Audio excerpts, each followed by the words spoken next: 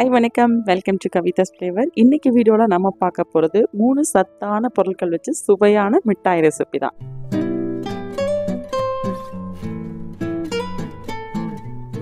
கால் முடி தேங்காய் கட் பண்ணி போட்டிருக்கேன். மூணு ஸ்பூன் அளவுக்கு பொட்டுக்கடலை சேர்த்துக்கலாம். ஒரு ஏலக்காய். ஃபஸ்ட்டு இதை வந்து கொஞ்சம் குறை குறைப்பாக அரைச்சிட்டு அது கூடவே ஒரு கப் அளவுக்கு பிடிச்ச வெல்லம். இந்த வெல்லத்தையும் சேர்த்து நல்லா அடித்து எடுத்துக்கலாம் மிக்சியில். இப்போ பாருங்கள் கொஞ்சம் குறகுறப்பாக தான் இருக்குது. இப்போ பேனில் ஒரு ஸ்பூன் அளவுக்கு நெய் விட்டுக்கலாம். நெய் விட்டதுக்கப்புறமா இந்த தேங்காய் மிக்ஸை வந்து இதில் வந்து சேர்த்துடலாம். சேர்த்துட்டு நல்லா கலந்து விடலாம்.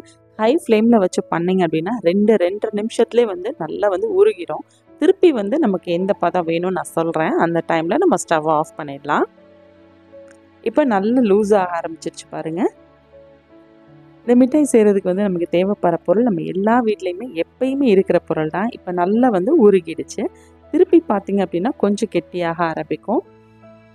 இப்போ பாருங்கள் கரெக்டாக நமக்கு கெட்டியாக ஆரம்பிச்சிருச்சு. நல்லா லூஸ் ஆகி மறுபடியும் வந்து திக்காக ஆரம்பிக்குது பாருங்கள் இது கரெக்டான பதம். இப்போ நம்ம ஸ்டவ் ஆஃப் பண்ணிவிட்டு இதை வந்து ஒரு பிளேட்டுக்கு மாற்றிட்டு கொஞ்சம் சூடு ஆறும் நமக்கு. கையில் தொடுற அளவுக்கு வரும் பாருங்கள் அந்த டைமில் சின்ன சின்ன உருண்டைகளாக உருட்டி எடுத்துக்கிற வேண்டியதான் ஓரளவு சூடாக இருக்கும் பொழுதே நீங்கள் சாப்பிட்டீங்க அப்படின்னா சவு மிட்டாயெல்லாம் இருக்கும் பாருங்கள் அந்த மாதிரி இருக்கும். நல்லா ஆறுனதுக்கப்புறம் சாப்பிட்டோம் அப்படின்னா கமர்கட்டு சாப்பிடுவோம் இல்லையா? அந்த டேஸ்ட்டில் இருக்கும். ரொம்ப ஹெல்த்தியான ஸ்நாக்ஸு அவ்வளோதான் நம்மளுடைய மிட்டாய் ரெடி ஆயிடுச்சு. இதை நீங்கள் ஒரு ஒரு வாரம் வரைக்கும் கூட வச்சு சாப்பிட்லாம். ரொம்பவே நல்லாயிருக்கும் ஈஸியான இந்த மிட்டாய் ரெசிபியை நீங்களும் ட்ரை பண்ணி பார்த்துட்டு எப்படி இருக்குன்னு சொல்லுங்கள் நான் வேற ஒரு வீடியோவில் சந்திக்கிறேன். Until then it's bye from Kavitha. Thank you